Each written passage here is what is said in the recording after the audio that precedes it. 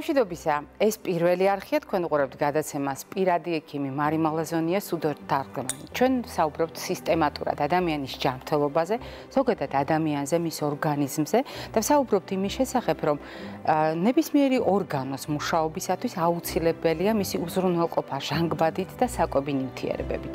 და ეს ყველაფერი ხორციელდება სისხლმომარაგების დამსახურებით და სისხლმომარაგებას უზრუნველყოფს ჩვენი ორგანიზმის სისხლმიმოქცევა.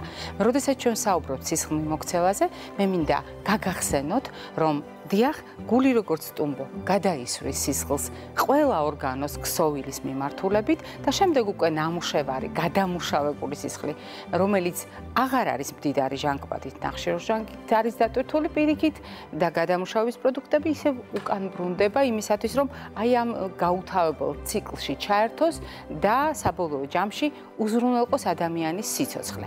აა რატომ გავამახვილე ამაზე ყურადღება? იმისათვის რომ სისხლი მივიდეს დანიშნულების ადგილას ძალიან ბევრი რამ უნდა იყოს დაცული ჩვენს ორგანიზმში და ერთ-ერთი გახლავთ ჩვენი სისხლძარღვების მდგომარეობა მათ შორის არა მარტო ის თუ რამდენად გამტარია ეს სისხლძარღვები, რამდენად დაცულია მისი მთლიანობა, არამედ როგორ აღიქვამენ ჩვენი სისხლძარღვები წნევას. და ეს ყველაფერი დამჭირდა იმის სათქმელად, რომ თანამედროვე მეცნიერებამ საინტერესო შედეგები აჩვენა სხვადასხვა კვლევის შედეგად, როგორ უნდა შევამოწმოთ არტერიული წნევა. ჩვენ ამის შესახებ დღეს არ ვისაუბრებთ, იმდენად ხშირად ვსაუბრობთ 10 წლის მანძილზე. ძალიან ბევრი გაკვეთილი გავიარეთ, როგორ გავიზომოთ სწორად წნევა, მაგრამ აღმოჩნდა, რომ წნევის გაზომვას აქვს თავისებურება ბავშვებსა და მუზარდებში. და როდესაც მშობელი გადაწყვეტს გასინჯოს ეს მონაცემი, აუცილებლად უნდა იცოდეს იმ სიფრთხილეების შესახებ და იმ წესების შესახებ, რომელთა შესახებაც ასევე გვაფრთხილებენ ჩვენი კოლეგები, ჩვენი უცხოელი კოლეგები. ეს სიახლის ბლოკში იქნება. ხოლო შემდეგ სიახლის ბლოკის დასრულების შემდეგ ჩვენ სისხლმომარაგება ახდენს თუ არა გავლენას ჩვენი თავის ტვინის მდგომარეობაზე. რას ნიშნავს სისხლმომოქცევის მოშლა და არის თუ არა ამასთან დაკავშირებული სკლეროზი და გაფანტული სკლეროზი, ამაზე ვისაუბრებთ. მოკლედ სიახლის ბლოკი და არტერიული წნევის შეფასება შეფასება ბავშვებსა და მოზარდებში.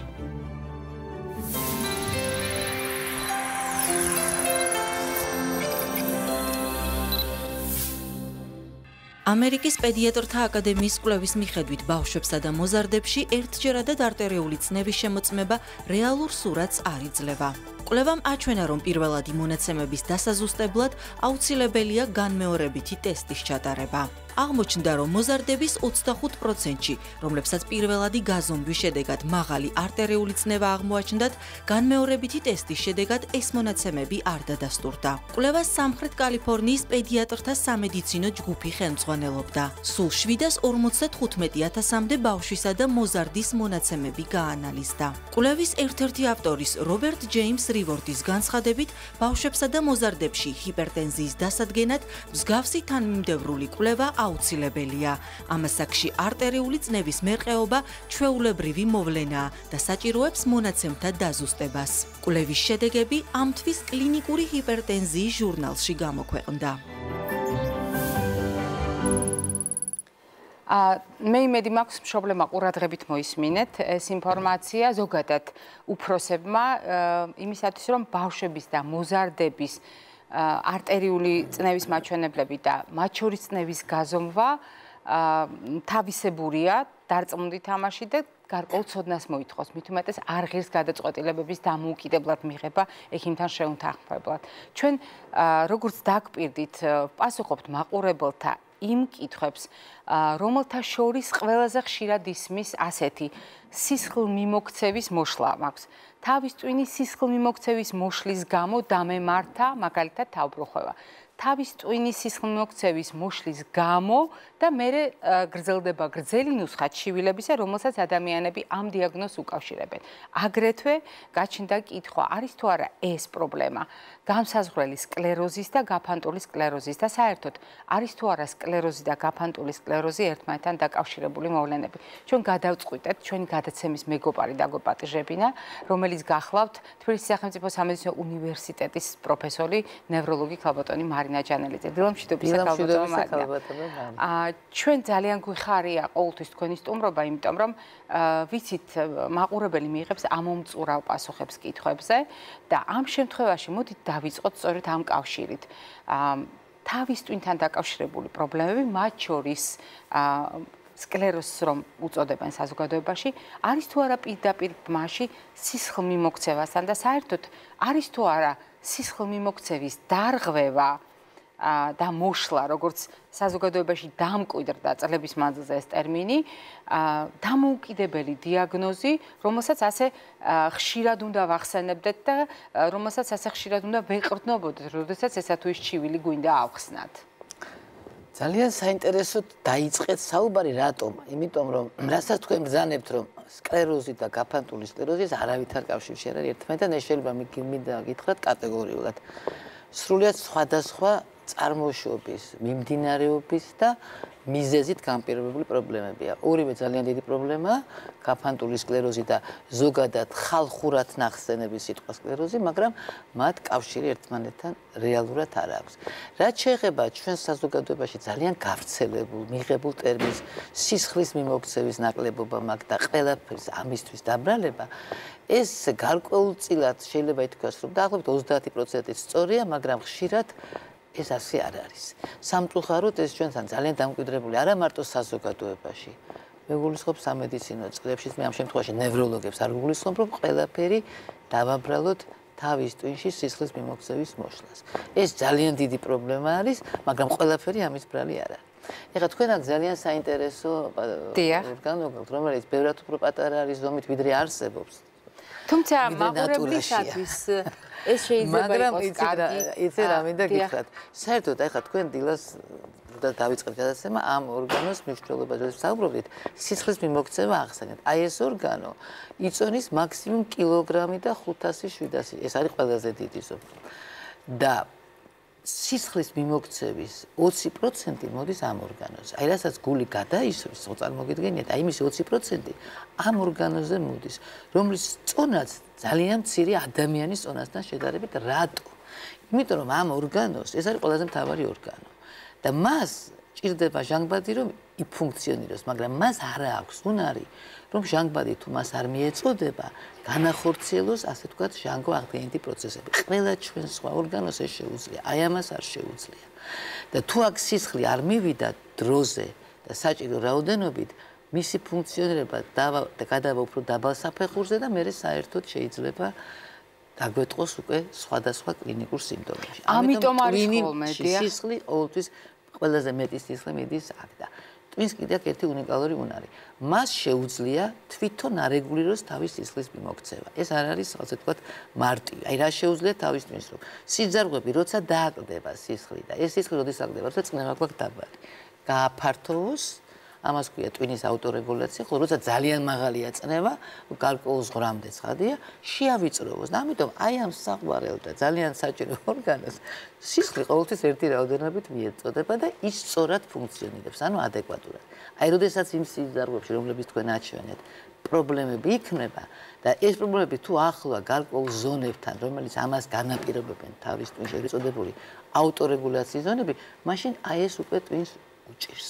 და შესაძლებელია რომ იმ რაოდენობით სისხლი კრიტიკულ სიტუაციაში არ მიეწოდოს როგორც საჭიროა. აი ამ შემთხვევაში მე არ გულისხმობ წვავე ინსულტს, ეს ცალკე თემა არის. აი ამ შემთხვევაში შესაძლებელია მისი სიხმომარაგება ადეკვატური არ იყოს და გარკვეული სიმპტომები ქრონიკული სისხლის მიმოქცევის უკმარისობის შედეგი იყოს, მაგრამ ეს ახლა ასე ყოველთვის ამისთვის დაბრალება ყველაფრისა, რაც ჩვენს გვემართება. თუმცა სკლეროზ რას შეეხება? შესაძლებელია შესაძლებელია ესეთი ქრონიკული სისხლის მიმოქცევის უკმარისობის ან ეგრეთ წოდებული მცირე არტერიების დაავადება არსებობს. ახლა თქვენ ნაჩვენებთ დიდი არტერიები არტერიოლები და არსებობს კიდე მცირე არტერიები რომლებიც ყვებავენ წვინის ღრმა სტრუქტურებს, აი ეს რაც შეგნით არის. აი მის მისმა ქრონიკულმა უკმარისობამ იმ პარტარა არტერიებში შეიძლება გამოიწვიოს აი ეს სიტყვა, რომელიც თქვენ მოდით ხალხურად დავარქვათ მას სკლეროზი. ისე მას ცოტა უფრო ისეთი სიტყვა ქვია და სხვადასხვა ეს სიტყვა გარკვეულად მედიცინა სახმარი ტერმინოლოგიიდან ამოიღო, რამე თუ ის სტიგმის მატარებელია. სკლეროზი ყოველთვის რაღაცა ცუც ნიშნავს, არა ადამიანის და ამიტომ ცუდია დრამატული დრამატული ცუდი მეაბაზგულო ძალიან დრამატულია და ამიტომ ცდილობენ რომ სხვა სიტყვებით აღნიშნონ ის რაც ამას შეიძლება დავაბრალოთ, მაგრამ ყველა მეხსიერების დაქვეითება ყოველთვის სკლეროზში ერთ-ერთი მთავარი ამის შედეგი არ არის. გაბატონ მარინა, მაყურებელი გველოდება. აა დილამშვიდობის აგისმენ. მოგესალმებით, შეკითხვა გვაქვს ექიმთან. ვიცით რომ გლუკოზა საჭიროა თავის ტვინისთვის. არ ვიცით მითია თუ რეალობა მართლა და აი ეს გლუკოზა ზოგადად შაქარი არ არის სასურველი და აი როგორ უნდა ყვებოთ თავის ტვინი და მართლა არის ეს საკვები ამ შემთხვევაში შაქარი თუ არა. ძალიან დიდი მადლობა. და ის საკვები ნივთიერებები რომლებიც რომლებიც საჭიროა ტვინის. ძალიან დიდი მადლობა შეკითხვისთვის. მე ძალიან დიდი იმედი მაქვს რომ თქვენ ხშირად უყურებთ ჩვენს გადაცემას. თუმცა როგორც ჩანს თქვენ მაინც გამოგრჩათ ის გადაცემა. მაგრამ ჩვენ ამაზე იმდენად ხშირად საუბრობთ, არა უშავს ჩვენ გაგახსენებთ, რომ დიახ თავის ტვინს ძალიან ჭირდება გლუკოზა, მაგრამ თავის ტვინს არ ჭირდება საქაროზა. შაქარი, რომელზედაც თქვენ საუბრობთ, შაქრის ფხვნილი.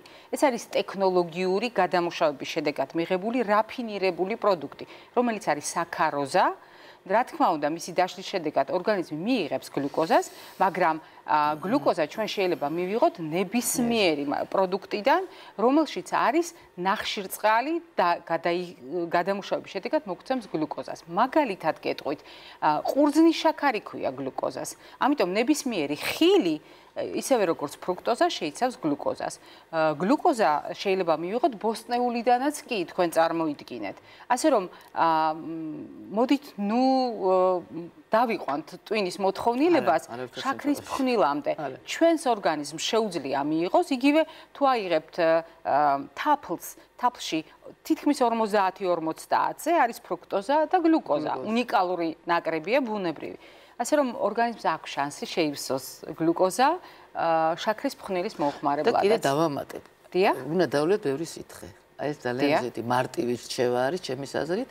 რამე თუ თუ სისხლი არ არის თხელი კონსისტენციის და არის ესე ვთქვათ, აი კისელივით, კისელი ძალიან კარგი შედება. ის იმ წვილს ბლანტი, ბლანტი. ხო, ბლანტი და ვერ მიდის მიკროცირკულაციაში, ანუ კაპილარებში, ის ვერ გადის. თუ ეს არის ბლანტი და მე ყოველთვის აი პაციენტებს რომ აი თუ თქვენ არ დალებთ ბევრ სითხეს, თქვენი სისხლი იქნება ძალიან სქელი და ვერ მიმაწილოს სიზარღვებამდე. აი ამითი ჩვენ შეგვიძლია ჩვენ თავს დავახმაროთ, რომ დიდი რაოდენობით სითხე და სწორი კვების რეჟიმი. twins მეტი არაფერი არ ჩვენ ამ თემას დაუბრუნდებით დეტალურად. ეს თემა, რომელსაც თქვენ იმდენად ხშირად საუბრობთ, ჩემს აზრით ძალიან შეცვალეთ საერთოდ გარკვეულად ჩვენი საზოგადოების შეხედულება კვების რაციონის შესახებ. ძალიან დიდი მადლობა ქალბატონმანი თქვენ გაგაბრალოთ, კარგი გაგებით. ამიტომ მე მგონი ამაზე თქვენთან ერთად ახლა ჩემი გამოსვლა ნამდვილად არის ძალიან ძალიან დიდი მადლობა. მე მინდა დაუბრუნდე იმ ფრაზას, რომელიც თქვენ ახსენეთ, თავის ტვინის შესაძლებლობებზე და თავის ტვინის უნარებზე საუბრისას. თქვენ ბრძანეთ, რომ თავის ტვინს ერთგვარი დაცვითი რეაქცია აქვს. დაბალი გვაქვს წნევა, აფართოებს სისხლძარღვებს, მაღალი გვაქვს წნევა, შეავიწროებს სისხლძარღვებს. თქვენ ისიც ბრძანეთ, რომ თავის ტვინის სისხლმომარაგების გააზრებისას 30% ამ პრობლემისა შეიძლება გახდეს სხვადასხვა დაავადების საფუძველი, მაგრამ ამ შემთხვევაში სკლეროზი, როდესაც განვიხილეთ, მაგრამ არსებობს სხვა მიზეზებიც. მე მინდა დავუბრუნდე სისხლმომარაგებას, იმიტომ რომ ძალიან ბევრი კითხვა იყო ამასთან დაკავშირებით. როგორ ვაფასებთ სისხლმიმოქცევას? როგორ უნდა თქვას ადამიანმა, რა შემთხვევაში უნდა თქვას? მე მაქვს სისხლმიმოქცევის დარღვევა. ანუ რა რა შემოწმება უნდა გაიაროს, რა კვლევები უნდა ქონდეს ჩატარებული, რომ დიახ, ჩვენ ვთქვათ, რომ ამ ადამიანს მართლაც აქვს სისხლმიმოქცევის დარღვევა. იცით რა, მოდით ესე დავიწყოთ. სისხლმიმოქცევის დარღვევა სანამ გვექნება, აუცილებლად ჩვენ უნდა ქონდეს ის რისკ ფაქტორები, რომლებიც ამისკენ მიგვიყვანს. თუ ეს ფაქტორები არ აქვს, თუ არ აქვს მაღალი წნევა, თუ არა ვარ თქვათ სიგარეტის მომხმარებელი, ჭარბი წონა თუ არა გვაქვს, ხომ? გენეტიკა? აა, გენეტიკას რასაკვირველ მნიშვნელობა აქვს, მაგრამ არსებობს ესეთი ეგრეთ წოდებული მოდიფიცირებადი, ის რაც ჩვენ შეგვიძლია შევცვალოთ. ეს ფაქტორები თუ ყველაფერი წესრიგში გვაქვს და თუ ჩვენ მარტივად რო ვთქვა, თუ ჯანსაღი ცხოვრების წესით ცხოვრობ, ამისი ალბათობა ძალიან ნაკლებია ხა. ასაკთან ერთად ყველაფერი ხდება რასაკვირველია და ჩვენ ასაკ სამწუხაროდ მოდიფიცირებას ვერ ვუყურებთ. სამწუხაროდ, ძალიან ვცდილობ, მაგრამ არ გამოგვდის.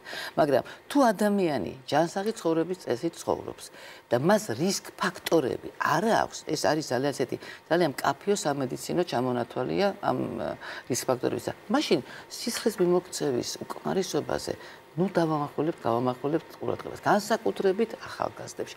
სამწუხაროდ ჩვენს ქვეყანაში შეინიშნება ისეთი რა ტენდენცია, ყველა ახალგაზრდები, მე ამ შემთხვევაში არ გულისხმობ ასაკოვან პოპულაციაზე.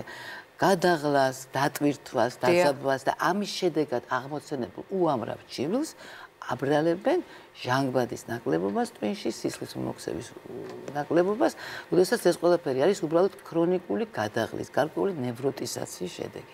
ამიტომ ამას ერთმანეთში ნუაურებთ. თუმცა უნდა ვთქვათ, რომ ეს საზოგადოების პრაქტიკულად ყველა ასაკობრივ ჯგუფს ეხება, იმიტომ რომ ეს საერთო ტენდენციაა, მაგრამ ახალგაზრდებს აი ხშირად არის რომ გაგიკვირდება აი ამ ტერმინით ამასაკის ადამიანმა რატომ უნდა მოგმართოს, მაგრამ ეს რაღაცა გამკვიდრებულია რომ სისხლის მიმოქცევის პრობლემა აქვს და თუ ორ წამალს დაუნიშნავ ან ოთხს ის ყველაფერი გასწორდება და არ აქვს მნიშვნელობა როგორ ცხოვრობს როგორ მუშაობს იღლება არ იღლება ვარჯიშობს სწორად ჭამს. აი ამიტომ ჩვენ ამ ფაქტორებს გვერდზე გადავდებთ და გვინდა ჯადოსნურად 2-3 წამლით გამოვისწოროთ პრობლემები მოიხსიერება ცხოვრების და რასაც წლების მანძილზე ვაფუჭებთ, მე გვინდა რომ ერთ კვირაში მოვაწესრიგოთ. ნამდვილად, მაგრამ ასაკში, რასაკვირველია, ასაკში უფრო მეტად უნდა გავიაზროთ ჩვენი ჯანმრთელობის პრობლემა, რა შეიძლება დაგვემართოს და კიდევ უფრო უნდა გაუფრთხილდეთ მავნე ფაქტორების ზემოქმედებისაგან თავი მაქსიმალურად დავიცვათ. ეს მავნე ფაქტორები ძალიან ბევრია თქვენ ჩემზე კარგად მოგეხსენებათ. მაყურებელი გვართობა დილამშვიდობისა გისმენთ. გამარჯობა თქვენ. გამარჯობა. მიესალმებით გასწომას. ბადო. გამარჯობა. ერთი შეკითხვა მაქვს თუ შეიძლება. დიახ, გისმენთ ყურადღებით. სამი სამი წლის წინ თუ ალბათ ერთი 4 წლის წინ დამიდგინდა ენცეფალოპათია. ენცეფალოპათია, დიახ. და დამინიშნეს წამალი 70 წლის კაცი ბრძანებით. დიახ. დამინიშნეს წამალი და იმის შემდეგ ხანუსამდი, ხანავსამდი და ეხლა სულ შევწყვიტე. და რა შეიძლება მოყვეს ამავას რომ დავანებო თავი ამ წამლების დალევას? კი ბატონო. რა გაწუხებთ? ახლა რა ჩივილები გაქვთ? ბატონო. თავის ჩივილები მქონდა თავიდან. დიახ და ეხლა მოვატყობ ხოლმე ცოტა რაღაცა ფეხის ორიენტაციის პრობლემები მაქვს ხანდისხან. მოძრაობის კოორდინაციას კარგავთ ბატონო? არა ადგილზე რო ვარ. თორე მოძრაობა ადრე მქონდა და ეხლა შეზღუდული მაგრამ ამში არა ვარ მაგრამ აი ეს ადგილზე ხანდახან წამოტორტმანებს ხოლმე. გასაგებია დიდი მადლობა შეკითხვისთვის ბატონო. ენცეფალოპათია რამდენიმე სიტყვით უნდა განვარტოთ. ტვინის რაღაცა მცირე პათოლოგია. რომელიც შეიძლება იყოს მცირე პათოლოგია. ენცეფალი, ენცეფალონი არის ეს და პათია არის ამის პათოლოგია, მარტივად რომ გითხრათ. ეს შეიძლება ანუ ზოგადია ეს ტერმინი. ძალიან ზოგადია.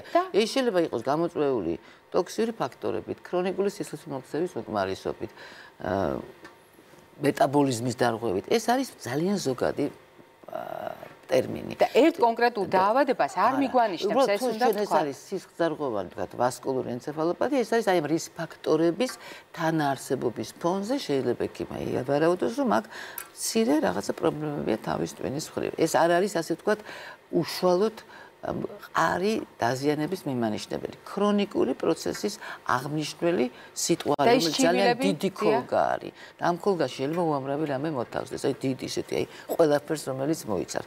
ის ჩივილები რასაკვირველია შესაძლებელია იყოს დაბალი წნევის, მაღალი წნევის შედეგი, უკანა ცირკულაციაში გარკვეული სისხლის მიმოქცევის შეფერხების, მაგრამ შესაძლებელია, რასაც ბატონი ბრძანებდა, სიარულის დროს მე ტატორტმანება შეიძლება ეს იყოს ექსტრაპირამიდული სისტემის დისფუნქციის ერთ-ერთი ეს უკვე ძალიან რთული ნათქვამია რაღაცა პარკინსონის მცირე სიმპტომი შეიძლება იყოს რომ წატოტბანდების ანაფსიარუს დაწყება. ამიტომ ეს ახლა ზეპირად ასე ამის თქმა რთულია მაგრამ ის ბატონს რომ მეთქვა რა პრეპარატს მიიღებ და მე შეიძლება რაღაცა კიდე ორიენტაცია ამეღო და ალბათ ახლა ყოველ შემთხვევაში უნდა მიმართოს ალბათ თავის ექიმს და საერთოდ ქრონიკულად და უწყვეტად პაციენტმა უნდა მიიღოს წნევის მარეგულირებელი პრეპარატი დიაბეტის ვისაუცებელი პრეპარატები და გარკვეულ შემთხვევაში ასპირინი. აი ის რაც თქვა, აი მართლა თუ პაციენტს ჭირდება, ის უნდა მიიღოს. ყველა დანარჩენ შემთხვევაში მკურნალობის სქემა უნდა გადახედოს. რაღაცა უნდა გადაწყდეს, იმიტომ რომ აი წნების პრეპარატი, წამალი, რო იციან წნება უნდა ამდენი ხანი და თუ წნება გაქვს სულ ნატალიო. ეს უნდა კატეგორიულად უნდა ყველა იცოდეს. ისევე როგორც თქვა დიაბეტი თუ გვაქვს პრეპარატები პრაქტიკულად, ну მათ garaშე გარკვეულ შემთხვევაში ყოფნა არ შეიძლება. დანარჩენი ხა ის უნდა გადაწყდეს ყოველთვის ინდივიდუალურად. აა კაბატონ მარნია, ჩვენ როდესაც ამ გადაცემას გეგმავთ, გარდა იმისა, რომ გავითვალისწინე მაყურებელთა თხოვნა და ძალიან ბევრი წერილი და დასმული კითხვა, ასევე გავითვალისწინე ის ფაქტი, რომ თებერვალში მთელი მსოფლიო და სამედიცინო სამყარო, განსაკუთრებით ნევროლოგთა საზოგადოება, დეტალურად საუბრობს ხოლმე საზოგადოების გასაგონად გაფანტული სკლეროზის შესახებ. თებერვალი მათი თვეა, ანუ რეალურად ეს არის საბაბი, საბაბი, თუმცა არა მიზეზი. რატომაც საუბრობთ ამ თემაზე? მოდით შევადაროთ ერთმანეთს სკლეროზი და გაფანტული სკლეროზი. რამდენიმე ძირითადი განმასხვავებელი გითხარით? დავიწყოთ ასაკი. გაფანტული სკლეროზი არის ძირითადად ქალბატონების ყოველთვის არა, მაგრამ ძირითადად ქალბატონების დაავადება იწყება 20-დან 40 წლის ასაკში. აი ეს არის ერთ-ერთი განსხვავება. ახალგაზრდა ქალების ახალგაზრდა ქალბატონების დაავადება.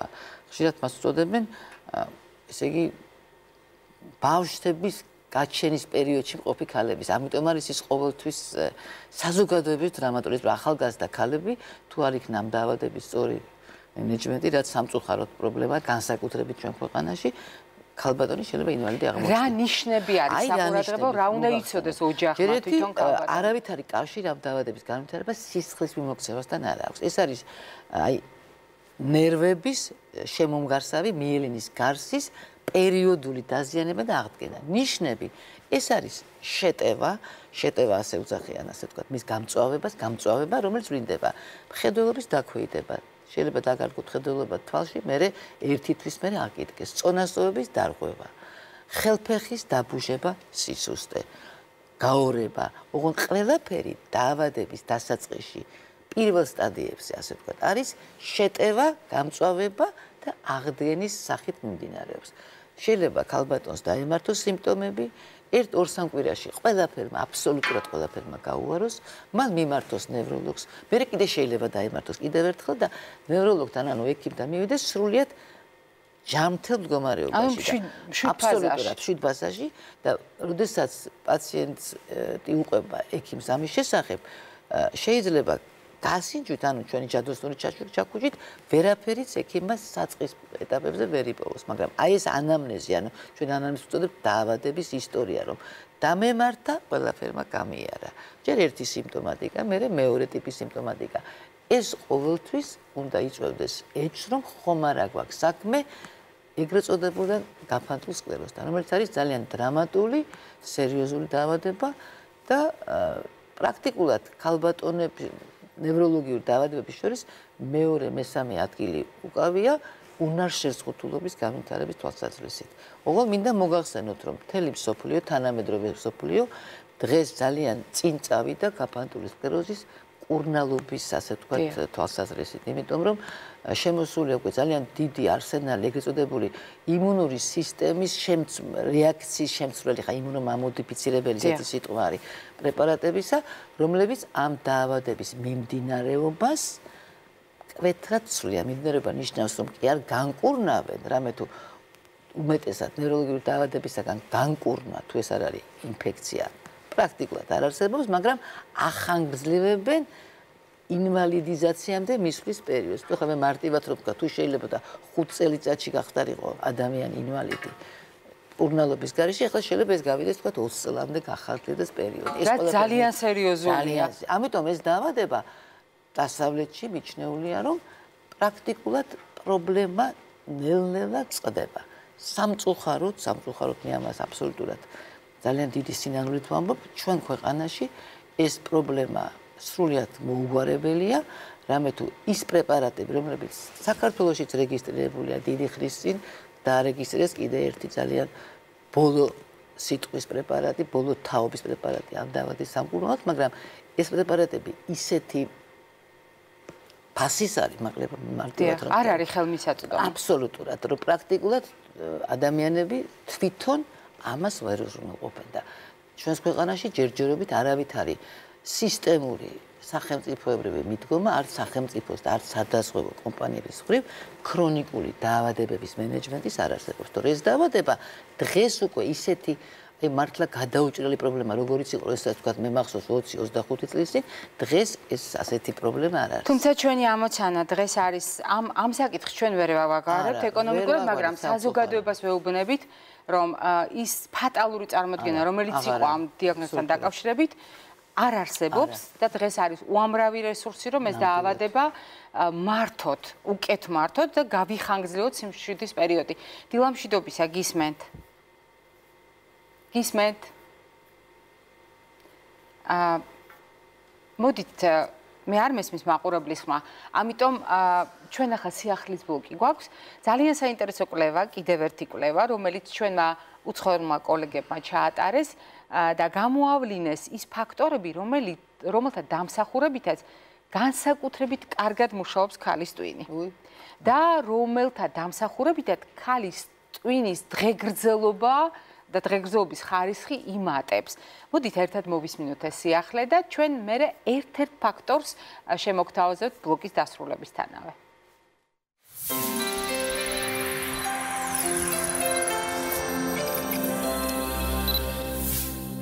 ქალებში ასაკთან ერთად მატულობს მეხსიერებასთან დაკავშირებული პრობლემების რისკი, მათ შორის ალცჰაიმერის. ჯანსაღი ცხოვრების წესმა შეიძლება გავლენა იქონიოს და შეამციროს მოსალოდნელი პრობლემები. მათ შორის სპეციალისტები ქალბატონებს 4 მარტივ რჩევას უზიარებენ. ტვინს ყველაზე კარგად ფიზიკური აქტივობა კვებავს, ამიტომ სპეციალისტები გირჩევენ იცეკვოთ, ირბინოთ ან ისეირნოთ, დაკავდეთ სპორტის რომელიმე სახეობით. ჯანსაღი ფიზიკური მდგომარეობა დიდწილად განსაზღვრავს ტვინის ჯანმრთელობას.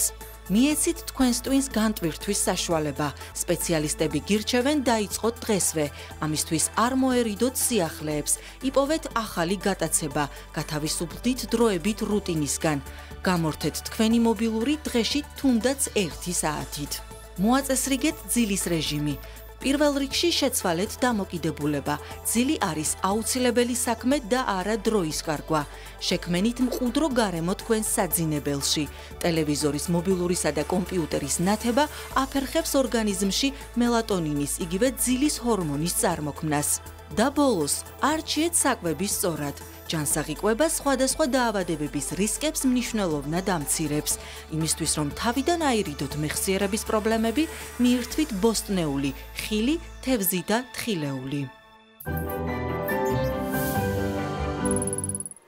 როგორც დაგპირდით, ჩვენ გაგიზიარეთ ჩვენი უცხოელი კოლეგების კვლევების შედეგებით და თქვენ ალბათ დაარწმუნდით, ეს არის ის, რაზედაც ყოველდღეს საუბრობთ. ის არის რეალურად დასახელდა ფაქტორები, რომელთა შესახებაც საუბრის დასაწყისში ჯერ კიდევ ბზანა ქალბატონმა მარინამ და ერთ-ერთი ფაქტორი, რომელიც იყო აქ მითითებული, ფიზიკური აქტივობა არის ჩვენი გადაცემის კონცეფციის განუყოფელი ნაწილი თეა დილამშვიდობისა. აა რა კომპონენტებით, რა ინსტრუმენტებით შეიძლება აა ჩვენ მივახციოთ სისხლმიმოქცევის გაუმჯობესებას, იმიტომ რომ ქალბატონმა მარინამ რამდენჯერმე აგვეხსნა. ერთი მხრივ ტვინის თავისებურება და ის რესურსი, რომელიც მას აქვს და მეორე ამოცანა ჩვენი, რომ ეს ჩვენი დირიჟორი შევინახოთ პატივში, არა ქალბატონო მარინა? პატივი ნოცეთ ყველაზე. იმისთვის რომ თავის ტვინს პატივი უცეთ, აუცილებელია რომ გავუფრთხილდეთ სისწარღვებს.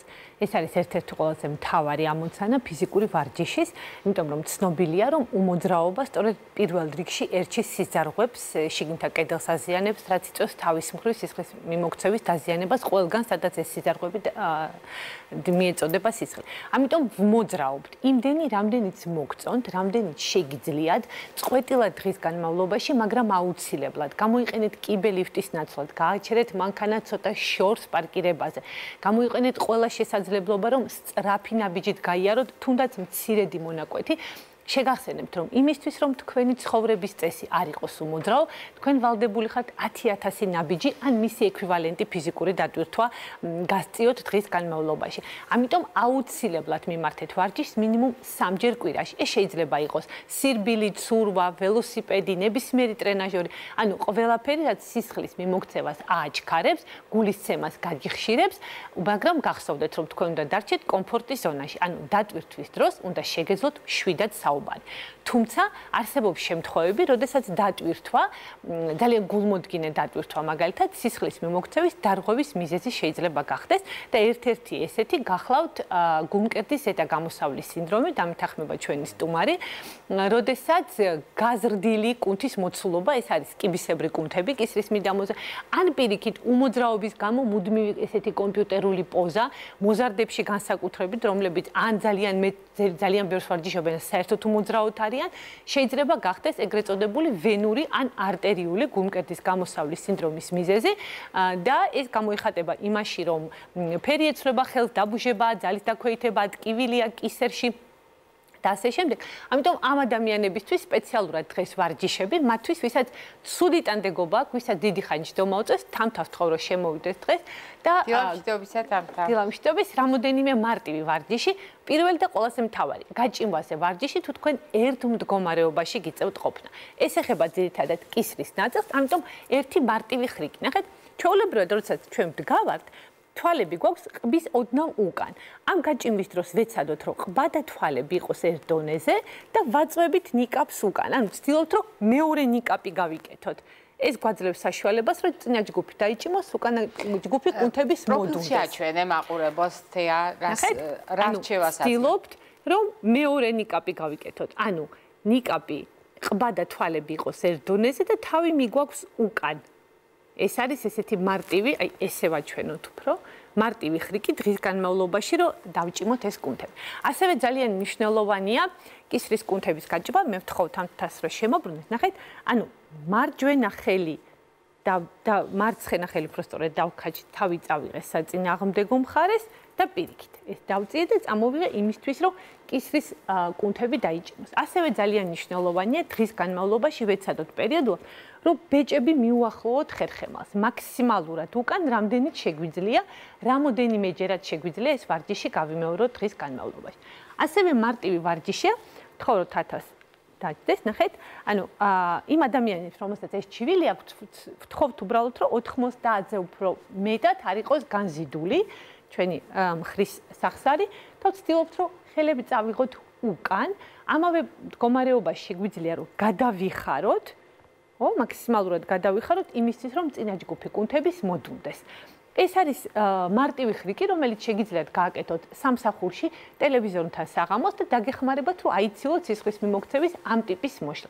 რაც შეეხება გაფანტულ სკლეროზს, აუცილებელია, რომ ადამიანებმა ამ დიაგნოზით ივარჯიშონ, მაგრამ ვითვალისწინებთ მიუხედავად იმისა, რომ შეიძლება ვლინდებოდეს კუნთების დაჭიმულობით ეს დაავადება, ჩვეულებრივი დაჭიმული კუნთებისგან განსხვავებით, გაფანტული სკლეროზი უნდა ვარჯიშობდეს აუცილებლად გრილ გარემოში. ეს ეხება როგორც ჰაერის ტემპერატურას, ასევე სავარჯიშო აუზის ტემპერატურას, იმიტომ რომ წყალში ვარჯიში ძალიან უადვილდება თამ ადამიანებს, მაგრამ თუ ჩვეულებრივად ჩვენ დაჭიმულ კუნთებზე ვსაუბრობთ, რომ წყლის ტემპერატურა უნდა იყოს 30, 31, 32 გრადუსი, გაფანტული სკლეროზის მქონე პაციენტებისთვის ეს იფარგლება 28-29 გრადუსით წყალში, იმისთვის რომ შებოჭილობამ არ მოიმატოს. ასევე ძალიან მნიშვნელოვანია რომ თქვენ გაითვალისწინოთ ნებისმიერი კუნთოვანი სისუსტე, ნებისმიერი პრობლემა, რომელიც მოძრაობას გიზღუდავთ, აუცილებლად სისხლის მიმოქცევას გაუარესებს, ამიტომ ყოველდღიური აქტივობა, თუ ეს არ შეგიძლიათ რომ იყოს ფიზიკური ვარჯიშის სახით, თვით მოვლა და სახლში და მოუკიდებლობა, მაინც ვეცადოთ რომ შევინარჩუნოთ განსაკუთრებით ასაკოვან პოპულაციაში, გავითვალისწინოთ ეს, რომ მოძრაობა არის საუკეთესო საშუალება ტვინს ვცეთ პატივი. ძალიან საინტერესოა ალბათ ის ფაქტი, რომ მაყურებელმა მე დარწმუნებული ვარ, მიაქცია ყურადღება. თემ რამდენჯერმე გაუსვა ხაზი. თუ ყველა დანარჩენ შემთხვევაში ჩვენ ვუფრთხილდებით მოვარჯიშეს თბილ გარემოში, ვცდილობთ რომ ივარჯიშოს გაფანტურული სკლეროზის შემთხვევაში სიგრილე უკეთესია და ზოგადად ფიზიკური აქტივობის თემა. მინდა მოგახსენოთ, აი ძალიან მნიშვნელოვანი ფაქტორი ახსენეთ თეამ. სითფო და მზე არის გაფანტული სკლეროზის შეტევის პროვოცირების ერთ-ერთი მნიშვნელოვანი ფაქტორი. მათ შორის გარუჯვაც და მზეზე კატეგორიულად კატეგორიულად არ შეიძლება. იმიტომ რომ გაფანტული სკლეროზის დროს, აი სიცხე, ჩვენ პირდაპირ ვეუბნებით რომ უნდა მიიღოთ გრილი შხაპი. და არა თქვა ეხზოქს უყარს ცხელი შხაპი. იმიტომ რომ ეს არის ასე თქვა აი ამ ნეირონში გადაცემის შემაფერხებელია ტემპერატურა, როდესაც მას მიელინის გარსი აქვს დარღული. ამიტომ სიცხე მათთვის არის პირველი დაუძინებელი მტერი. სრულიად სწორედ აღნიშნა თეამ, რომ მხოლოდ გრილი წყალი, მხოლოდ გრილი შხაპი და ყოველგვარი აი მზის აბაზანები ჩვენ კატეგორიულად არ შეიძლება გარუჯო, იმიტომ რომ ძალიან ხშირად პროვოცირების მიზეზია და რაც შეეხება ასაკოვნებში, იცით, ასაკში რთულია ცხოვრების წესი შეიცვალა და დაიწყო ვარჯიში. დიახ, იმიტომ რომ ყველაფერი უკვე ჩვევების დონეზეა, დიახ. ერთადერთი ყველაზე ადვილია ყველასთვის რომ სიარული ხო შეგვიძლია. თუ შეგვიძლია სიარული. შეიძლება არ ვივარჯიშოთ? ვივარ ხო ეს ახლა ძალიან მე ვიცი რა რთული ადამიანებისთვის, რომლებსაც стереოტიპი არ აქვს ვარჯიშის თქვა და 50, 60 წლის ასაკში ჩვენ არა ვართ ისეთი პიროვნებად ძლიერები ყველანი, რომ გადავტეხოთ ცხოვრების წესი და თუმცა ჩვენი გადაცემა მაინც იტოვებს სიარული და სიარული როგორც სტრაფი სიარული მე გულისხმობ სტრაფი ნაბიჯი სიარული. ეხლა მეორე პრობლემა ქალბატონო მარი ჩვენ ქუჩებში სტრაფი ნაბიჯით რო არის შეიძლება უარის გაგემართოს თავინა ჩავკინდრო თორია მაგრამ ამაზეც საუბრობთ ხოლმე ჩვენ მაგრამ ეს არის ერთ-ერთი ყველაზე კარგი საშუალება რომ აი სტრაფად ვიაროთ დღეში ნახევარი საათი 40 წუთი ხო შესვენებაზე ხო პატივიცეთ ჩვენს და სტრაფად თუ გვაქვს შესვენება? თქვენ ეს ყველას არ აქვს, მაგრამ აი სწრაფად ერთი 40 წუთი სწრაფად ვიაროთ და ბევრად უფრო დიდ შეღავაც მისცემს ეს ჩვენ ჯანმრთელობას, ვიდრე გემრიელი ლანჩის მირთმება. მით უმეტეს, როდესაც ჩვენ ვლაპარაკობთ ყვება და ფიზიკური აქტივობას რო უნდა შეუხამოთ, ჩვენ ამაზე ხშირად გვაქვს ხოლმე რეკომენდაციები. დიდი მადლობა ქალბატონებო. ჩვენ რასაკვირველია ფიზიკური აქტივობის კომპონენტს შემდეგ კვირაშიც დაუბრუნდებით სხვადასხვა ფორმით მიმდინარე კვირაში სიუჟეტების სახით გვაქვს ხოლმე ასეთი რეკომენდაციები თეას მადლობა ჩვენ სტუმარსაც მადლობა ჩვენ ახლა ვიქტორინა გვექნება და ის ვიდეო რჩევები რომელიც მე ვფიქრობ არა მარტო ამ გადაცემის სათქმელს ამბობს არამედ თანამედროვე განვითარებული სამყაროს ერთ-ერთი ყველაზე დიდი თავსატეხია და ამიტომ ყურადღებით ვისაუბროთ ყოველდღე ამ თემაზე ჰიგიენის წესები ჯანმრთელობის და გარემოს დასაცავად. ვიდრე ნაგვის ურნაში რამეს ჩააგდებთ, დაფიქრდით, ეს მართლა ნაგავია თუ ნარჩენი. ნაგავი არის ის, რისი გადამუშავებაც აღარ შეიძლება. გაითვალისწინეთ. სახიფათო ნაგავი, მაგალითად ბატარეა, ნატურა, თერმომეტრი. საყოფაცხოვრებო ნარჩენებისთვის განკუთვნილ კონტეინერში არ უნდა მოხდეს. ცალკე უნდა შეგროვდეს და შესაბამის ადგილზე განთავსდეს. ნარჩენი არის ყველაფერი ის, რაც შეიძლება გადამუშავდეს. ორგანული პროდუქტები, მაგალითად საკვების ნარჩენები, პლასმასის ნივთები, მინის ჭურჭელი, ქაღალდისგან დამზადებული ნებისმიერი საგანი. მას შემდეგ, რაც ნაგვის ურნაში მოათავსებთ მხოლოდ ნაგავს და ახარისხეთ ნარჩენები. პროცესის გასამარტივებლად გამოიყენეთ სხვადასხვა ფერის კონტეინერი სპეციალური წარწერით. წვანე ორგანული, წითელი პლასმასი, ყვითელი მინა, ლურჯი ქაღალდი. გახსოვდეთ, 1 ტონა ქაღალდის გადამუშავებით გადავარჩენთ 20 ხეს. დავზოგავთ წყალს და ენერგიას. 1 მინის ბოთლის გადამუშავებით იზოგება იმდენი ენერგია, რაც საჭიროა კომპიუტერის 15 წუთით მუშაობისთვის. 1 პლასმასის ბოთლის გადამუშავებით იზოგება იმდენი ენერგია, რაც სჭირდება 60 ვატიანი ნატურის ნათებას 6 საათის განმავლობაში. ორგანული ნარჩენების გამზადდება კომპოსტი ნიადაგის გასანოღიერებლად. ლაშქრობის ან ექსკურსიის დროს არ დაანაგვიანოთ ბუნება. არ დაყაროთ ნარჩენები ქუჩაში. არ დაგავიწყდეთ. ჩვენი სახლი არ მთავრდება ჩვენი ბინის ზღურბლზე. ჩვენი ქვეყანაც ჩვენი სახლია. ნარჩენებისგან თავისუფალი სუფთა სახლი ჯანმრთელობის საწინდარია. სიცოცხლის გახანგრძლივება და არა გადამდებდა დაავადებათა თავიდან აწილება შესაძლებელია. სწორი კვებით რეგულარული ფიზიკური აქტივობით, თამბაქოზე უარის თქმით, აირჩიე ჯანსაღი ცხოვრების წესი, პირადი ექიმის რჩევით. ციამაყით მინდა ვთქვა, როდესაც ამ ტექსტს წერ ხოლმე, ფრაზა, რომელიც უკავშირდება, რომ ჩვენი ქვეყანა, ჩვენი სახლია, არ არის უბრალოდ ამ ვიქტორინისთვის დაწერილი, გარწმუნებთ, ეს არის ჩვენი დამოკიდებულება. და თუ ასეთი დამოკიდებულება არ ექნება საზოგადოებას, ჩვენ ძალიან ბევრი პრობლემა გვექნება მათ შორის ჯანმრთელობასთან დაკავშირებით და კიდევ უფრო დიდ პრობლემებს დაუტოვებთ ჩვენ შთამომავლობას, ჩვენ შვილებს, შვილიშვილებს და ასე შემდეგ.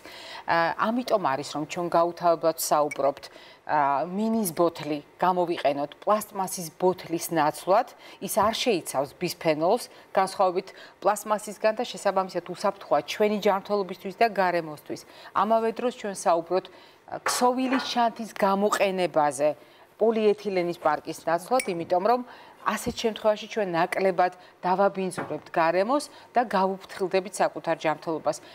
мама папури ხისკოვზი, რომელიც არაუბრალოდ ტრადიციის ნაწილია, არამედ არის საუკეთესო საშუალება კერძის მომზადების დროს არ დავკარგოთ აუცილებელი საკვები ნივთიერებები, ანუ ნუტრიენტები. და კიდევ ერთი კომპონენტი, რომელზედაც მიმდინარე სეზონზე გაუთავებლად საუბრობთ, ეს არის ასევე ბუნებრივი მასალისაგან 4 სტიქის, ცეცხლის, მიწის, წყლის და ჰაერის შეჯერებით შექმნილი უნიკალური პროდუქტი ჩვენი მამაპაპების საჩუქარი, რომელიც არის ამ შემთხვევაში თიხის ფიალის სახით და არის ძალიან კარგი დოზიმეტრი, არა მხოლოდ ალკოჰოლური სასმელისათვის, არამედ ნებისმიერი კერძისათვის. ზოგადად ულუფის ზომა რეჟიმთან და რაციონთან ერთად განსაზღვრავს, რამდენად სწორად ვიკვებებით. და კითხვა, რომელიც შემოვიდა Facebook-ზე, აღმოჩნდა, რომ Facebook მომხმარებელთა ძალიან დიდ ნაწილს აქვს ანალოგიური შეკითხვა.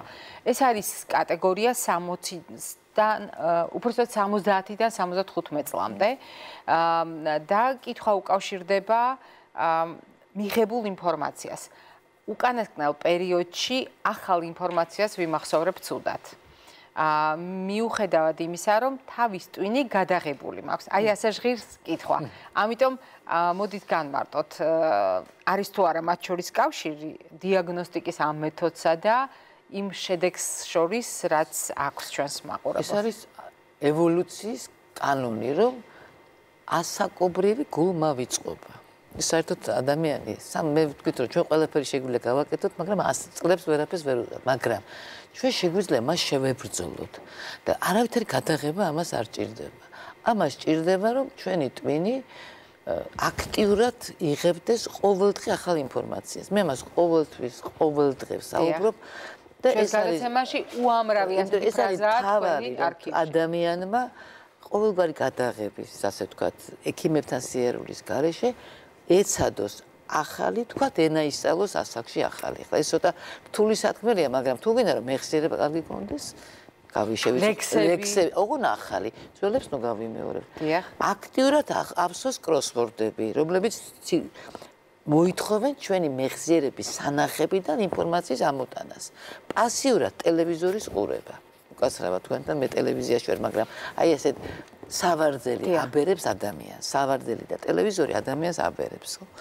აქტიურად წავიკითხოთ, დავიმახსოვროთ. თუ ადრე ერთი წაკითხვით ვიმახსოვრებით რაღაცას, თუ ხლა ეხლა საბჯერ წავიკითხოთ, მაგრამ ახალი მაგრამ მაინც წავიკითხოთ ცილებად. და თავი შევიწუხოთ. ჩვენ არ გვიყვარს თავი შევიწეწუხება. და იცით ეს რის იბრალია? ეს არ არის ასაკის ბრალი. ეს არის იმბრალი, რომ ჩვენ ახალგაზრდობაში ამას არ მიგვაჩვიეს. აი იძულებას, შრომის გონებრივ შრომას გულისხმობ მე. ანუ დასწავლაზე, შრომის დახარჯვა. ხო, აი იძულება შენი თავის რომ ეს უნდა ისწავლო, უნდა გაიგო, უნდა დაიმახსოვრო. გატაცებები ქალბატონო მარინა. იცით რა, გატაცება, ნუ ხო, ახალ გატაცება. ხელსაქმე ხელსაქმე. რამდენად ეხმარება მეხსიერებას? საერთოდ მეხსიერებას ეხმარება ყველაფერი, რასაც ჭირდება თან ახლა. თუ შენ ისეთ ხელსაქმეს აკეთებ, რომ თან უნდა იფიქრო, რასაკვირველია, მაგრამ გონებრივი შრომა შემეცდებით უნარები. ეს განპირობებულია იმ პროცესებით, რასაც ჭირდება მეხსიერება, დასწავლა, მეხსიერებიდან ამოტანა, ანალიზი. კითხვა, რომელიც მეცადინოთ, მე გულისხმობ მეცადინებაში, გულისხმობ აი ახალი ამბავი გავიგოთ და დავიმახსოვროთ ოღონდ და ვეცადოთ რომ ანალიზი გავაკეთოთ. ნუ ვართ მარტო მიმღებები ინფორმაციის. აი ჩვენ ვართ ეს თანამედროვე საინფორმაციო ნაკადები სწორედ ამ მდგომარეობაში ამყოფებს საზოგადოებას ძალიან უნდა რომ ჩვენ არ ვიფიქროთ. ნაკადებს უნდა რომ ჩვენ მარტო მივიღოთ გადავყლაპოთ მათ ინფორმაციას და მივიღოთ მზა ინფორმაცია მზა ინფორმაცია გადავყლაპოთ და ჩვენ უნდა ვიფიქროთ. არა ჩვენ მაშინ ვიქნებით მომხარებელი რომელიც ძალიან ადრე დაბრდება საბარძელში და თუ ჩვენ ვიფიქრებთ ვიაზროვნებთ შევიწუხებთ თავს ხო უფრო ადვილი არ შეიწუხოთ თავი და სურათი გადაიღო ან წამალი დალიო. ეს ხო მარტივია.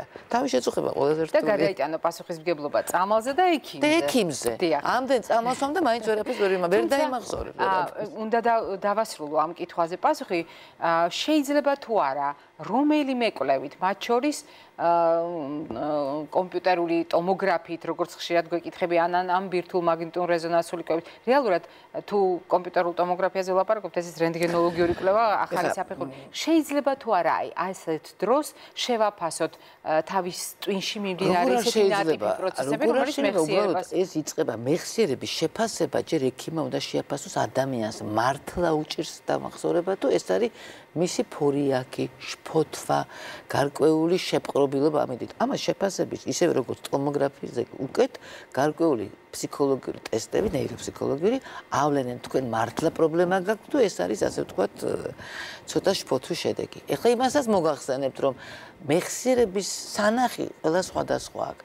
აი ის რაც ვთქვათ ჩემთვის არის ვთქვათ ძალიან რთული, შენთვის შეიძლება თქვენთვის იყოს ძალიან მარტივი, იმიტომ კი არა რომ მე ავათვარან, იმიტომ რომ თქვენი მეხსიერება თავდაპირველადვე იყო ბევრად მაღალი პოტენციის მატარებელი და თქვენის განავითარეთ ჩემი თქვა იყო უფრო ნაკლები და მე არ დამიხარჯია ენერგია მის განვითარებას. ამიტომ პირველადი ამოსავალი წერტილი ყველას ერთნაირი არ აქვს. აი მაგალითად მე ძალიან საინტერესო მაგალითს მოგიყვანთ. იყო ძალიან დიდი ცნობილი ფიზიკოსი ლანდაუ. დიახ. რომელიც მოყვა საშინელ უმძიმეს ავტოკატასტროფაში და მან დაკარგა თავის მეხსიერება.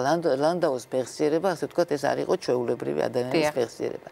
და ძალიან დიდი რაღაცა პერიოდის მერე მან აღიდგინა მეხსიერება და შეაფასეს მათ მისმა კოლეგებმა. MGU-ს, MGU მოსკოვის სახელმწიფო უნივერსიტეტის ფიზიკის კურსდამთავრებულზე მეტი ნამდვილად იცისო. ეს ის ისლანდაუ აღარ არისო, მაგრამ აი მისი მეხსიერება და ცოდნა დაუბრუნდა შესაძლებლად ვინ მოიყენ გამოიყენეს თქვენ მოგეხსენებათ ეს არ არის თქვათ რაღაცა თქვათ ადამიანი რომელიც გონებრივი შრომით არის დაკავებული. ამიტომ საწყისი პოტენციალი ჩვენ სხვადასხვა გვაქვს, რომელიც არის თქვათ დაბადებიდან განპირობებული და ჩვენი ძალიან დიდი შრომითაც და უნარებით და ამიტომ თუ არაფერს არ გავაკეთებთ სურათებით ექიმებთან სერულ არაფერი არ გამოვა. მე უნდა გადავინასო ახლა კვების ბლოკში. ჩვენ ამდენჯერმე ვახსენეთ ეს. აი ძალიან მნიშვნელოვანია თქვენი კვების ბლოკი. ძალიან მნიშვნელოვანია აგრეთვე იმ კვლევების ჭრილში ჩვენ მაყურებელთან გვაქვს ასეთი შეთანხმება. მიუხედავად იმისა, რომ გადაცემა ხანდაზმულია და ალბათ ერთ-ერთი რეკორდსმენია ქართულ ქართულ ტელესივრცეში ამ თვალსაზრისით ჩვენ ვახერხებთ იმას, რომ მაყურებელთან ჩვენი შეთანხმების პირობას ვიცავთ. ყოველი დღე ეს არის მათთვის სიახლეების და იმ ინფორმაციის მიღების საშუალება, როდესაც ჩვენ დღეს რა ხდება? მოცემულ მომენტში რა ხდება მედიცინაში? ამის შეტყობის შესაძლებლობა გვაქვს და ძალიან საინტერესო კვლევა, რომელიც საახალწლოდ უკავშირდებოდა კარგ და ცუდ კვების მოდელებს და ჩვენ მაშინ ვისაუბრეთ ერთ-ერთი საუკეთესო მოდელი, რომელიც დასახელდა ეს იყო ხმელთაშუა ზღვისპირეთის კვების მოდელი, რომელიც უნდა გითხრათ, რომ ახალი მოვლენა არ არის, ეს არის უკვე რამდენიმე 10 წლეული, ჯერ კიდევ 90-იანი წლებიდან ჯანმრთელობის სოფლიო ორგანიზაციის პირამიდის საფუძველი გახდა. და დღეს, როდესაც ჩვენ უკვე პირამიდაზე კი არა, არამედ უკვე თეფშის სისტემაზე, ანუ MyPlace სისტემაზე ვსაუბრობ და ჩვენს გადაცემაში ეს ინოვაციური ასე ვთქვათ მოდელი კვებისა უკვე რამდენიმე წელია განიხილება დღეს მაინც რჩება ხმელთაშუა ზღვისპირეთის დიეტა ერთ-ერთ საუკეთესო კვების მოდელად, მაგრამ იტალიელმა მეცნიერებმა ძალიან საინტერესო პროექტი წამოიწყეს. ექიმებმა, რომლებიც მუშაობდნენ ჭარბიწონის, მაგრამ ჯანმრთელ ადამიანებთან და დღევანდელი მედიცინა გამოყოფს ეგრეთ წოდებული ჭარბიწონის ნორმალური მეტაბოლიზმის მქონე ადამიანებს. ანუ ისევე როგორც გამოყოფს ნორმალური წონის მაგრამ დარღვეული მეტაბოლიზმის ადამიანებს და მე გაგახსენებთ ძუძუს კიბოს ინვაზიური კიბოს შემთხვევებს, როდესაც ქალბატონებს აქვს სხეულის მასის ინდექსი ნორმალური, მაგრამ აქვს ძალიან მაღალი რისკი სწორედ ინვაზიური კიბოს განვითარების, იმიტომ რომ მათ ცხიმი არ აქვს კარგად გადანაწილებული, ანუ ცხიმის დისტრიბუციის პრობლემა ვისაც აქვს. ამ შემთხვევაში აღმოჩნდა, რომ შეადარეს იტალიელმა ექიმებმა სწორედ ჭარბიწონის მქონე 100 ადამიანი, სადაც ნაწილი იყო სწორედ ანუ შეფასება მოხდა ორი კვების მოდელის, ერთი იყო ხმელთაშუა ზღვისპირეთის მოდელი და ეს იტალიელებისათვის ჩვეული მოვლენაა, ისევე როგორც სხვათა შორის ჩვენთვის. ჩვენის კვება უახლოვდება სწორედ ამ მოდელს და მეორე გახლდათ ეგრეთ წოდებული ვეგეტარიანული მოდელი, ოღონდ შერბილებული. ამას მე გაგახსენებთ, როდესაც ადამიანი არ მიირთმევს ხორცს, არ მიირთმევს თევზს, ცხოველური წარმოშობის ცხიმებს, მაგრამ მიირთმევს ისეთ ცხოველურ პროდუქტებს, როგორიც არის კვერცხი და მიირთმევს რძის ნაწარმს. ამ მოდელს ქვია ოვო-ლაქტო ვეგეტარიანული მოდელი და ნახეს, რომ ორივეს ჰქონდა საოცრად კარგი შედეგი. ოღონდ განსხვავება იყო რაში, რომ ვისაც აქვს ცხიმოვანი ცვლის დარღვევა, მიაქციეთ ყურადღება, დაბალი სიმკვრივის, ანუ ცუდი ქოლესტერინი მარტივად დააქვეითა მე ხმელთაშუა ზღვისპირეთის დიეტამ და ვეგეტარიანულმა დიეტამ გავლენა იქონია ტრიგლიცერიდებზე. რეალურად ცხიმოვანი ცვლის მოწესრიგებისთვის ჩვენ ორივე გვჭირდება და მე სიამოვნებით ავიღებ ისევ და გაჩვენებთ აი ამ ინსტრუმენტს, რომელიც დღეს მე გამოვიყენე იმისათვის, რომ გითხრათ, სწორედ სისხლძარღვი, როგორც მილი, სანათური სისუფთავებს ინარჩუნებს, მაშინ თუ ეს ზედმეტი ფოლაკები ათეროსკლეროზული ფოლაკები არ დაავიწროვებს მის სანათურს. ამიტომ მე რამდენიმე პრინციპს გაგახსენებთ ამ კვებიდან. უპირველეს ყოვლისა, საფუძველი არის ხილი და ბოსტნეული. ისევე როგორც ჩვენ სტეპში, ნახევარი ყოველდღიურ რაციონიდან არის ხილი და ბოსტნეული. მაგრამ მნიშვნელოვანია იმის გათვალისწინება, რომ მარცვლეული და პარკოსნები ძალიან დიდ ადგილს იკავებს ორივე მოდელში. და ჩვენ ამის გათვალისწინებას გვმართებს. კვერცხი მე გაგახსენებთ სოფლიოს ყველაზე დღეგრძელ ქალბატონს ემა მორანოს, რომელიც 113 წლის ასაკში გარდაიცვალა და ჩვენ მისი კვება ერთ-ერთ გადაცემაში, უბრალოდ რამდენიმე გადაცემაში გავარჩიეთ, მაგრამ ის ყოველდღიურად კვერცხს მოიხმარდა. მე არ მოგიწოდებთ ყოველდღიურად კვერცხის მოხმარებისაკენ, მაგრამ კვერცხი არ არის ის პროდუქტი, რომელიც რადიკალურად უნდა ამოვიღოთ რაციონიდან მიუხედავად იმისა, როგორია ჩვენი, ვთქვათ, ცხიმოვანი ცვლა. ამას ცოტა სხვაგვარად მიდგომა ჭირდება, ჩვენ ამაზეც გვისაუბრია. ზღვის პროდუქტები და თევზის ჩართვა, როგორც ცხოველური წარმოშობის პროდუქტის და რძის ნაწარმი. ამ შემთხვევაში მე მინდა ქალბატონ მარინას ვკითხო ის მუშაობს ამ საკითხებზე, როგორც ნევროლოგი. თანამედროვე მედიცინა ამბობს, რომ კუჭნაწლავის ტრაქტის ფლორის სტაბილურობა, კუჭნაწლავის ტრაქტის ჯანმრთელობა განსაზღვრავს ჩვენს არა მარტო იმუნიტეტს, არამედ როგორია კარგი და ცუდი ბაქტერიების თანაფარდობა და ბიოცენოზი, რომელიც ჩვენს ნაწლავებშია, განსაზღვრავს ტვინის ჯანმრთელობასაც. ასეა ქალბატონო მარია. აუცილებლად. ეს ახალი მიმდინარეობა ტვინის მიკროფლორა და ნევროლოგიური დაავადებები. ეს ძალიან დიდი თავია ნევროლოგიის, რომელიც ძალიან დიდ როლს თამაშობს. რამე თუ ყველაფერი ტვინში აიგება რას მივირთმევთ იქეთან ყველა ცილა ყველა მიკროელემენტი ამიტომ ეს მე მგონი საკითხი რომელიც ჩვენს ქვეყანაში შემდგომ განვითარებას მოითხოვს. იმიტომ ჩვენ ასე არ უდგებით ჯერ. მე ჩვენ უდგებით დავიწყეთ და თქვენ გვიდახმარება გჭირდება ესე ჯერ არ არის შემოჭრილი რომ ტვინის მიკროფლორა უბრალოდ კუჭნასლავის მიკროფლორა და ტვინი ეს არიან ძალიან მჭიდრო ურთიერთობაში მყოფი ასე ვთქვათ ჩვენ ხომ ასე ვუდგებით, ამიტომ ჩვენს გადაცემაში დავიწყოთ ეს პროცესი და მთელი საზოგადოება ჩაერთვება. ანუ, როდესაც ჩვენ ვლაპარაკობთ ცუდ იმუნიტეტზე, გაითვალისწინეთ რა მდგომარეობაშია კუჭნაწლავი, როდესაც ტვინთან დაკავშირებული პრობლემები გვაქვს, აუცილებლად მართალია შორს არის, მაგრამ გავითვალისწინოთ კუჭნაწლავში რა ხდება და ქალბატონმა მარინამ თქვა, ტვინისათვის გვჭირდება წყალი. აუცილებლად ასაკის მიუხედავად და კიდევ ერთი კომპონენტი, რომელიც ასევე არის ამ კვების მოდელში. ხმელთაშუა ზღვისპირეთის მოდელი აუცილებლად ითვალისწინებს ზომიერი მოხმარება, გათვალისწინებულია მასში, ალკოჰოლის ზომიერი მოხმარება. მიაქციეთ ყურადღება, არა 40 გრადუსი და ზემოთ მაღალი მაღალი ალკოჰოლშემცველობის სასმელების გამოყენებას, არამედ საშუალოდ 8-12 გრადუსის შემცველობის. ეს არის ჩვენთვის ზუსტად ის შუალედი, რაც გულისხმობს ღვინის ზომიერ მოხმარებას. როგორ შეიძლება ეს კომპონენტი გადავთარგმნოთ ტვინის დაბერების ენაზე? ეს ძალიან არის, ამაზე ძალიან დიდი სერიოზული კვლევებია და ის შეადარეს ერთმანეთს, რომ ხმელთაშუაზღვის ქვეყნების ადამიანები, რომლებიც მოიხმარენ ღვინოს, მათ ასე ვთქვათ, მეხსიერების დაქვეითება, სიცოცხლის პრობლემები ნაკლებად ემართება. ისე როგორც ისემიური დაავადება. ისემიური დაავადება. ა გულს გულისხმობთ. კი ბატონო, იმიტომ რომ ღვინოში მით უმეტეს აი მაგფერ ღვინოში არსებობ ტანინები, ასე ვთქვათ, ტანინიანი ღვინო ჩვენ ყველამ ვიცით, რომელიც არის ანტიათეროგენული მოქმედების და ანტიათეროგენული მოქმედების ის სწორედ იმ საშინელ ცუდ ფოლაკებს ხელს უსვლის რომ ჩალაგდნენ კედლებში და ოღონ აქ რასაკვირველია თავარია დოზა. საქართველოში ცოტა ამ დოზასთან რთული ადამიანებთან შეთანხმება. ეს არის დღეში 150 გრამი, ეს არის ნუ სამი პატარა ღვინის ჭიქა სადილს. ეს არის წამალი. ოღონ კარგი ღვინო. და ამიტომ გვაქვს ფიალა, ქალბატონო მარი. კი ბატონო.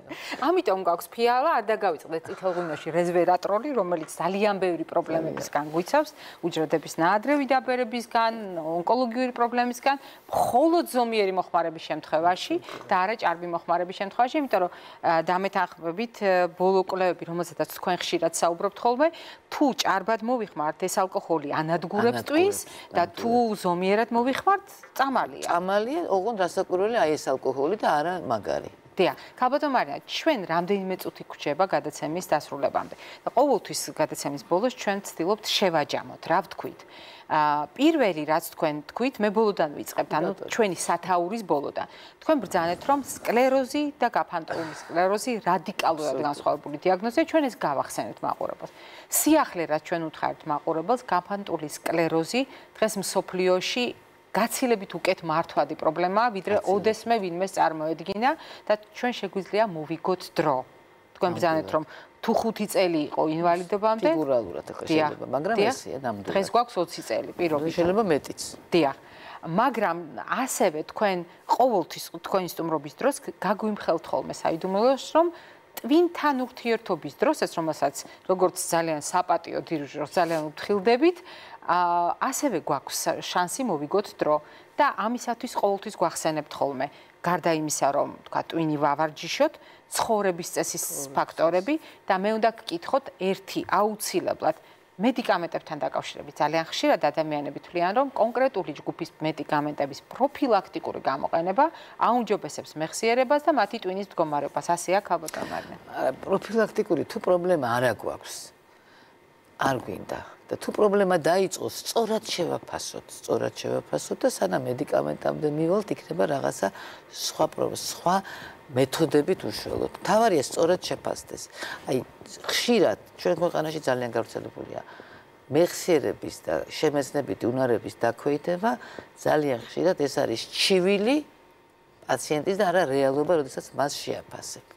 ძალიან ხშირად ახლა მე კიდე ერთ მდგომარეობას ვახსენებ, დეპრესიული განწყობა ჩვენი, რომელიც საუბედუროდ ჩვენ ქვეყანაში საკმაოდ გავრცელებულია, თან სხვათა შორის ეხლა ის სეზონია და ისეთი ამინდია დღეს კალბატონო მარშურის ამ განწყობას ნამდვილად ხელს უწყობს, რომელიც აი ამ ნიღბავს და ჩვენ გონია რომ მეხსიერება პრობლემა გვაქვს ანუ დეპრესიის ფონზე შეიძლება ჩვენ კონდეს დეპრესიულები ვართ და გონია რომ მეხსიერების პრობლემა აი დაავადებასაც კი ქვია ხა მე არ მინდა რთული სიტყვებით მაგრამ დემენცია არის მეხსიერების დაქვეითება, ანუ ჭუას უსწრება, არსებობს ფსევდოდემენცია, ანუ ფსევდო, ანუ ცრუ, ცრუ, რომლის მიზეზი ხშირად არის დეპრესია. და ხშირად აი დეპრესია, როგორც მდგომარეობა, ადამიანს, ასე ვთქვათ, ნიღბავს პროსტორეთ აფიქრებინებს რომ მას მეხსიერების პრობლემა აქვს და ის არის შეგვიძლია ეს ამოვიცნოთ ხო? აბსოლუტურად. დეპრესიით არის განპირობებული. დეპრესიული არის, ესა დეპრესიულია პაციენტი და ამ შემთხვევაში მიდგომა სრულიად სხვადასხვა. ამიტომ მე უნდა გკითხოთ, როდესაც ექიმი უნდა შეაფასოს, ისეთმა. დღევანდელი რეალობიდან გამომდინარე, თქვენ აბსოლუტურად სწორად ბძანეთ. თანამედროვე საზოგადოება გახდა მთლიანად დეპრესიული და იმ მოვლენების გამო, რაც ბოლო ათწლეულების განმავლობაში გაიარა ჩვენმა საზოგადოებამ, ეს მუხტი დაგროვდა, მე მესმის, მაგრამ ასეთი განცდა, რომ დეპრესიული განწყობა თვითონ შეიძლება ვერ შეაფასოს, მაგრამ ამან განსაზღვროს მეხსიერების ხარვეზე, შეიძლება ახალგაზრდასაც გაუჩნდეს. დეპრესიას ჩვენ ხშირად, აი ხა, ჩვენ გონია რომ ადამიანი არ არის, მე არ ვარ დეპრესიული. დიახ. თელი დღე ამას ვაკ, ეს არ ნიშნავს, რომ თქვენ არ ახართ დეპრესია. დეპრესია არის მდგომარეობა, რომელიც შესაძლებელია აი იმ მარტივი გამოვლენებით, რასაც ჩვენ თვლით ადამიანები მე გულისხმობ, რომ დეპრესიას ნიშნავს არ იყოს.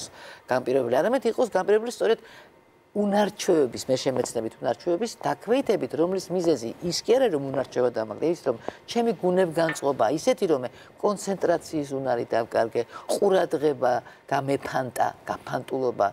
იმიტომ კი არა რომ ასაკის ბრალია და არა, სიცოცხლის მიმოქცევა გამიმართა, დეპრესიული ვარ და აი ეს ხშირად ნიღბავს და თუ ჩვენ იმას მოვაშერებთ ადამიანი შეიძლება მშვენივრად მიხვდეს რომ ძალიან კარგადაც სახსოვს ყველაფერი და მშვენიერ გუნებგანწყობაზე დადგეს. ამიტომ ეს ძალიან ფრთხილად და სათუდად ექიმა უნდა განასხვავოს ბევრი სურათების გადაღება ამას არ ჭირდება და აი ეს მინდა გავიბეურო. ძალიან დიდი მადლობა. ქალბატონ მამარიამ შეგვახსენა დღეს რომ ადამიანის twin შეუძლია იმაზე უკეთ შეფასება ვიდრე ამას აპარატი აკეთებს ზოგჯერ და განსაკუთრებით როდესაც გვაქვს დეპრესია უნდა დავძლიოთ დეპრესია იმისათვის რომ კარგად დავიმახსოვროთ ვივარჯიშოთ სწორად ვიკვებოთ ვიმეცადინოთ. ვიმეცადინოთ ვიმეცადინოთ. აუცილებლად ვიმეცადინოთ.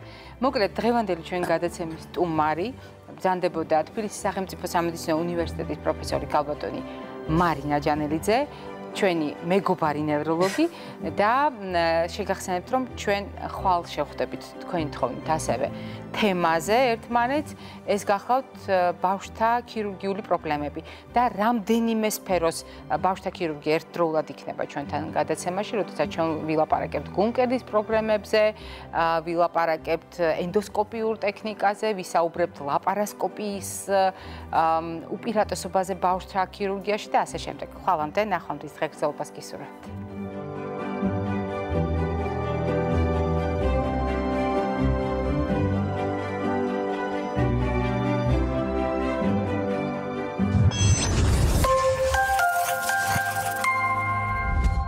ორი 2019 წლის დეკემბრიდან ძალაში შედის ნარჩენების მართვის კოდექსით